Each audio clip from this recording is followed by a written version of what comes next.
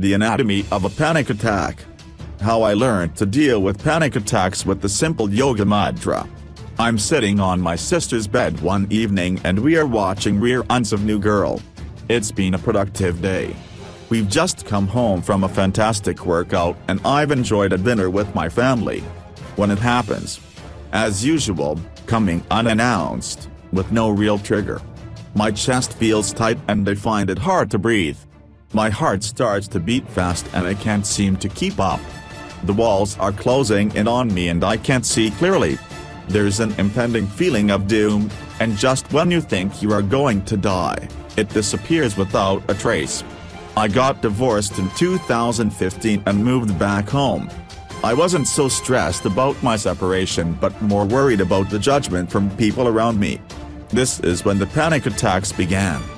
They would creep up on me when I was least prepared. In cabs, in metros, on a lunch date with my mother, and on stage when I was making a presentation. I'm 29 and I've been to physicians and homeopaths, and had every possible test done, MRIs, courts, and even been to counseling sessions. There was nothing physically wrong with me.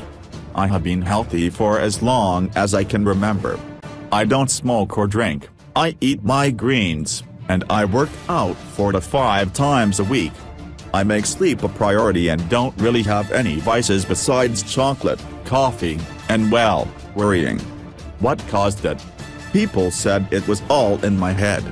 To in an attempt to say goodbye to those attacks, I cut out processed sugar and coffee.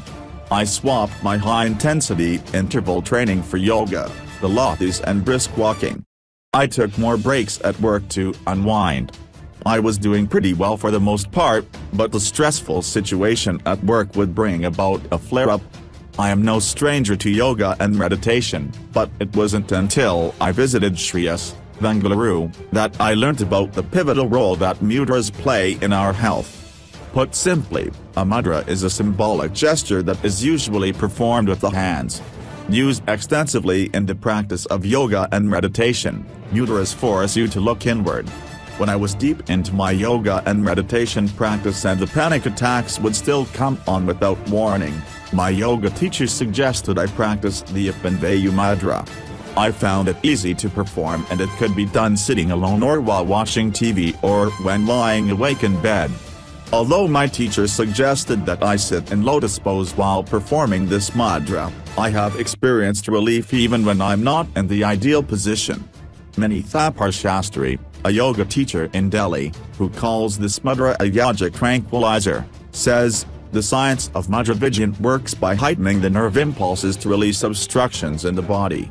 This mudra is especially useful for those who have panic disorders and are fearful, but also very effective for digestive distress.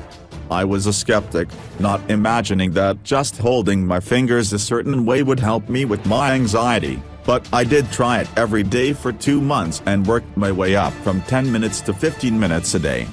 It's my secret tool before presentations or awkward social situations and even when I'm having a sleepless night.